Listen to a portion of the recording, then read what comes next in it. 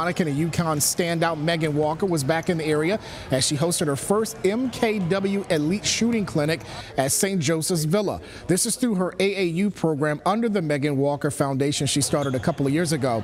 It's the only AAU organization in Central Virginia that is solely for girls. Megan, who just wrapped up her season overseas in Turkey, wants to use this platform as another way to spotlight women's basketball at first, you know, you have to have a love for the game. You have to have passion for it. And the only way that can happen if you enjoy it. You know, it can't be something that you're nagging to do or that, you know, someone else is forcing you to do. So if you can create that, that passion, that love for the game when you're younger, um, I think it'll go a long way going down the road.